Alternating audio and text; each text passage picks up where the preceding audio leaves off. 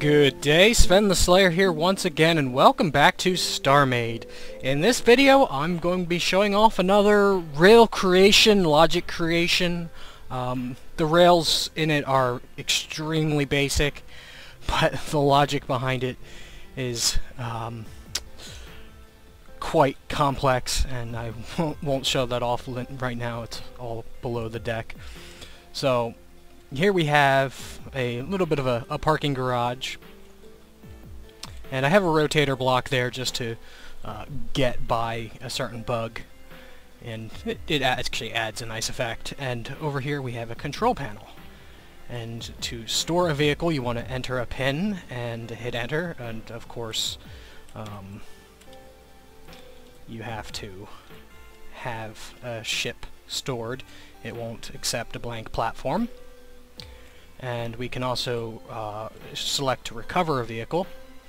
So let me just, uh, just put it in recovery mode.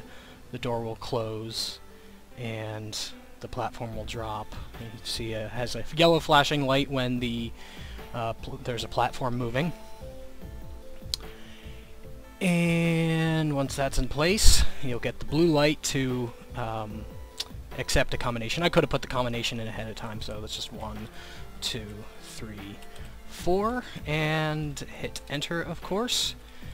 And you see that the platform is moving.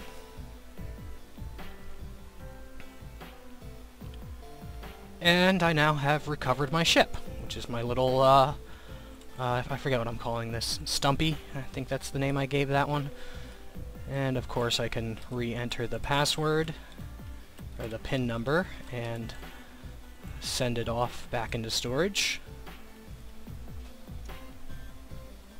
And flashing lights. Um, another interesting thing, I, I, really like the way I did this control panel. Whenever you push a button, you get a green flashing light, and then once you push four buttons, because it's a four-digit pin, uh, you get the... Why hasn't that stored yet? That okay, okay. It's stored, but it was waiting for the new platform to show up. Um, so when you push a button, you get a green flashing light indicating it's accept that accepted that button. And when you hit four digits, it lights up green. And if you hit uh, the fifth one to break it, uh, put it in a fault, it'll show up yellow until you hit the reset switch. And the red light is just will only flash when the system is full. So now that we have an open board here, we can say we want to recover a ship. And of course, the platform will move. Let's just put in my next combination ahead of time. So as soon as this turns blue, I can hit enter and it'll accept it. And it'll now is moving, bringing me up my next ship. It's right there, so it should be pretty quick. And now you see I brought up my puddle jumper. And let's just stash that back in there real quick. Uh, and it, I could put in any pin I want uh, the second time. It doesn't, as soon as you retrieve a vehicle, it wipes the, uh, the flash memory. And now I'll show you uh, the, the docking. Well, I forgot how fast these little zip shuttles are.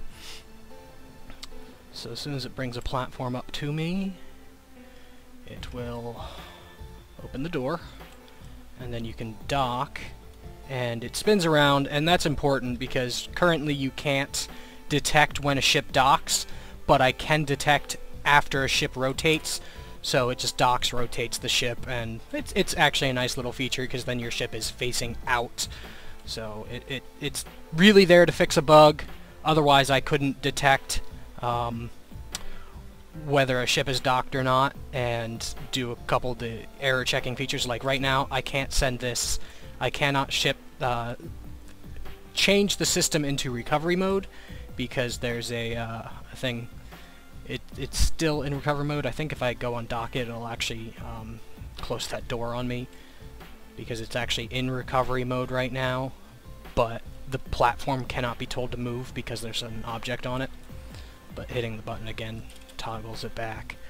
Um, so now we just need to enter a pin number and something different because that, that's the only fault in the system right now. There's no protection against two people putting in the same pin number, if they do that, it'll let them store the vehicle, but as soon as the, one of them comes by and enters the pin and retrieves, tries to retrieve their vehicle, it will actually break the machine and has to be manually reset, kind of.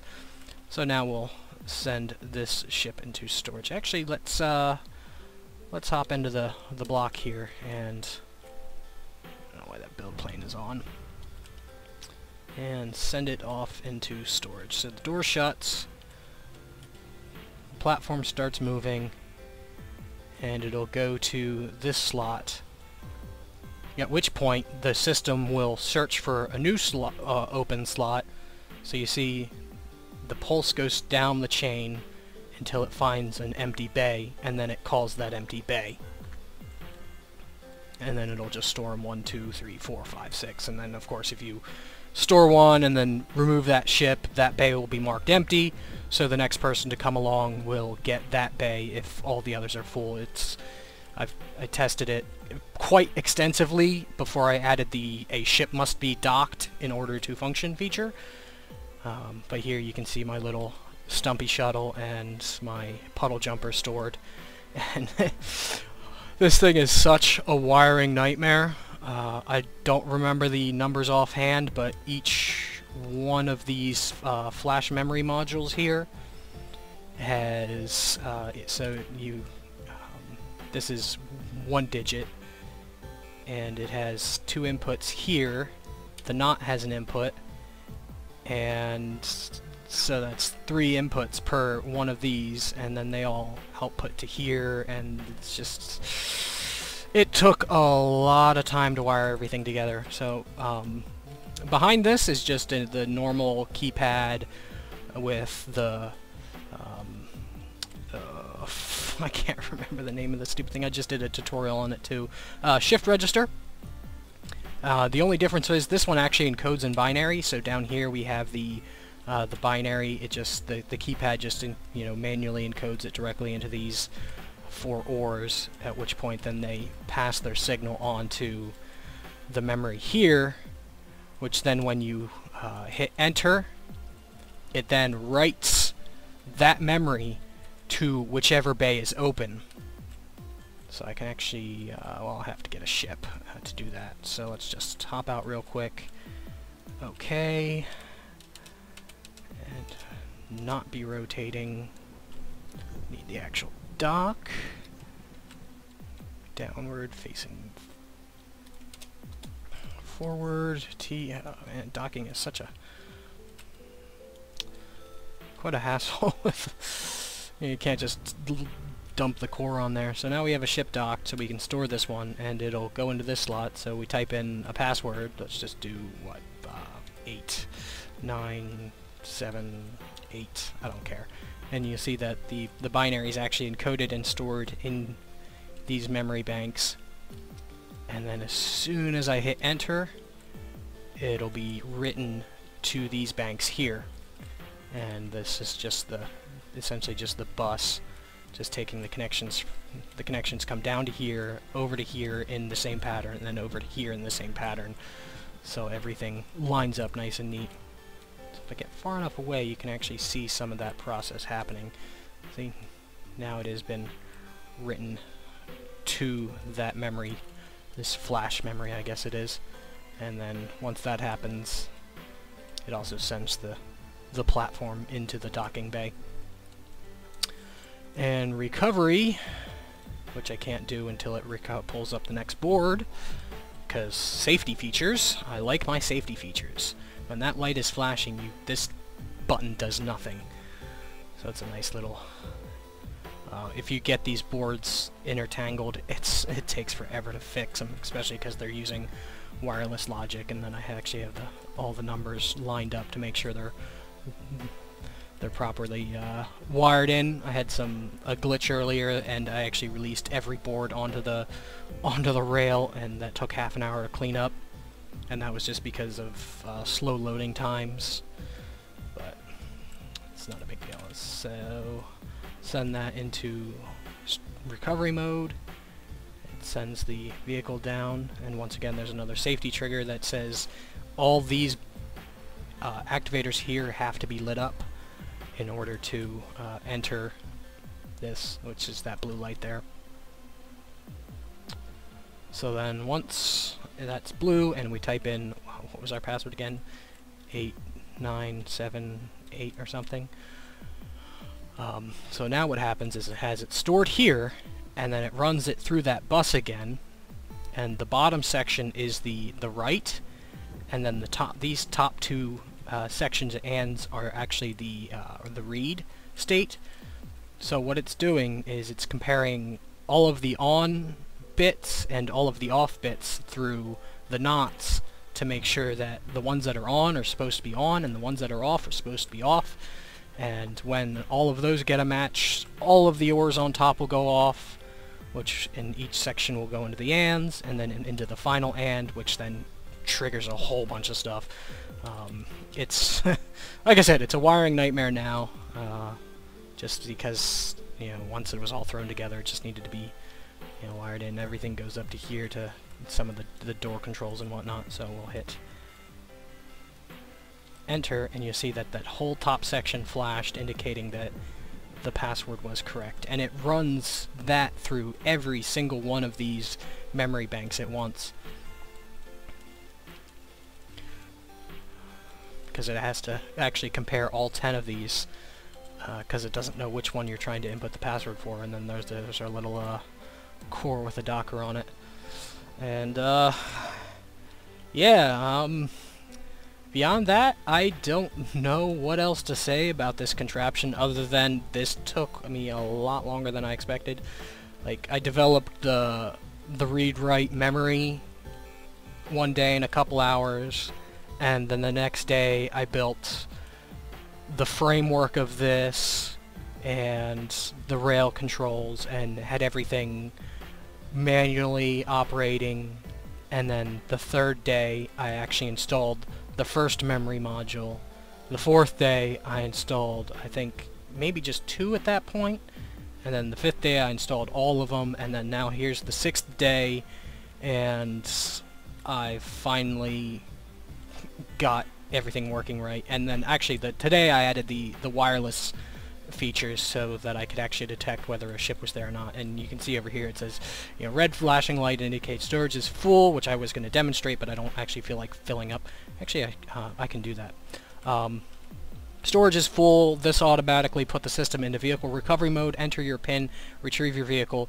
Please check out an admin to verify no empty slots are locked. So that no empty slots are locked thing was if somebody would come along, put in a password, and send the bay down without actually having a ship dock to it. So you'd have to have like an admin come by and say, oh, that's an empty platform. So the, the wireless logic fixed that. So um, yeah, let's just... So we have that one there. And I can... This flip-flop here is actually what determines whether a bay is empty or not. So we just want to tell the system that all these bays are em are uh, full. And I can show you the last bit. So those three are already full. So now let's uh, give it a password 8888. I don't care. Enter. It'll send it down in a way. And once it reaches its destination, it'll send a signal to retrieve the next platform, which you'll be able to see go down the chain. But it'll reach the end saying that there is no available platforms, and you'll now see that that red light is on, and the ship recovery system is now activated. Actually, I think I forgot to change one setting. Because I, I tweaked the way the, the platforms were too. They, originally they were um, flat with the core, but I had to make them deeper to add all the circuitry. So yeah, that's so yeah, there's a feature I forgot to fix. Um, it's not empty anymore, so that light should be turned off. Which that is just uh, going up here, selecting that, and I think that goes into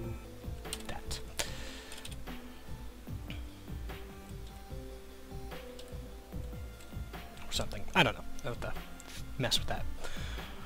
But that'll be about it. I know this contraption was actually a challenge issued. I think it was like pretty much issued twice. I, I remember seeing two threads uh, about having a a storage system where you can enter a pin to store your ship. So that's this is my uh, you know mission accomplished video for that. Um, uh, after I, I play around with this for maybe another week, make sure it's all bugs free, uh, maybe figure out how to wire in a uh, multiple same password detection. Like, I don't want it just to say, you know, compare it to see if the password's already entered, because then the person entering the, ne the, the same password can be like, oh, somebody already used that pin. I'm just going to enter it and recover a ship. Um, so I wanted to avoid that. I think the best way to handle it is to uh, actually have it lock out those bays, possibly, if uh, two pins are entered, because right now it just it breaks the system, um, and which I could demonstrate, but this video's already gotten long enough, and I've been rambling for a little bit, because there's it's a lot to uh, take in. There's a lot of logic pipes, and it's a one hell of a spider nest down here. But it's a fully functional, multiple deck, expandable, um, pin activated storage system and I can make it as big, uh, bigger to hold bigger ships. This is just my, my test platform. Uh, I could even do a version that doesn't use ships, per uh, se separate docking platforms, like you just land a ship and you enter the pin and it sends your ship along the rail you're docked to, so like for a horizontal configuration, perhaps, could do the same thing with that. Um, I will definitely be doing a tutorial on these flash memory modules because I think they're really useful and I don't know if there's a, a better way to do uh, write, read, and reset if this can be done any smaller. Like I said, this was my first uh, venture into a, this is my first venture into binary as well as my first venture into um, memory like this, like flash, actually flash memory, and like crazy buses and whatnot. So, uh, yeah, I think that should about finally cover it for this video. I wanted to do this just one rambly long take. Uh, thanks for watching. I hope you enjoyed this video and it inspires you to be creative.